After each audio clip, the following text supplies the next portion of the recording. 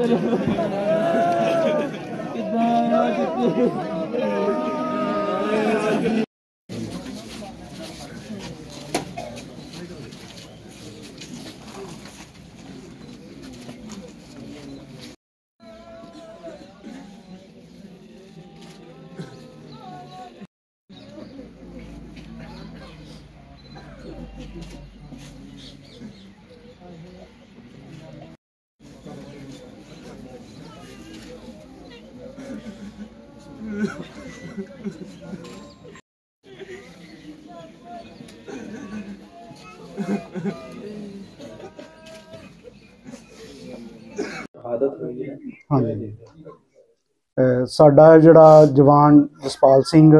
ਅੱਜ ਸਵੇਰੇ ਜਿਹੜਾ ਕਿ ਸੁਲਤਾਨਪੁਰ ਲੋਧੀ ਵਿਖੇ ਤੈਨਾਤ ਸੀ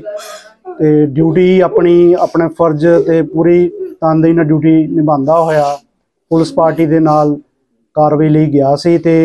ਜੋ ਝੜਪ ਉੱਥੇ ਹੋਈ ਹੈ ਫਾਇਰਿੰਗ ਦੌਰਾਨ ਉਸ ਦੀ ਅੱਜ ਡੈਥ ਹੋ ਗਈ ਹੈ ਜਿਸ ਦਾ ਸਾਨੂੰ ਬਹੁਤ ਅਫਸੋਸ ਹੈ ਤੇ ਵਿਭਾਗ ਪਰਿਵਾਰਿਕ ਮੈਂਬਰਾਂ ਨਾਲ ਆਪਣਾ ਇਹਨਾਂ ਦੇ ਨਾਲ ਦੁੱਖ ਸਾਂਝਾ ਕਰਦਾ ਪਿਆ ਹੈ ਤੇ ਜੋ ਵੀ ਵਿਭਾਗ ਵੱਲੋਂ ਵਿੱਤੀ ਸਹਾਇਤਾ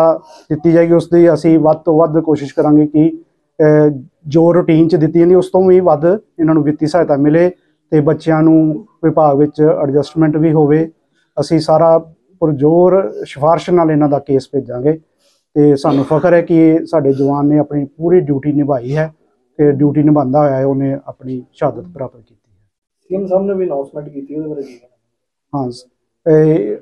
ਅਨਾਉਂਸਮੈਂਟ ਜਿਹੜੀ ਗਵਰਨਮੈਂਟ ਵੱਲੋਂ ਹੋਈ ਹੈ ਉਹ ਅਸੀਂ ਵਿਭਾਗ ਕੋ ਜੋ ਵੀ ਸਾਨੂੰ ਇਨਸਟਰਕਸ਼ਨ ਆਣਗੀਆਂ ਉਹਦੇ ਅਨੁਸਾਰ ਅਸੀਂ ਕਾਰਵਾਈ ਕਰਾਂਗੇ।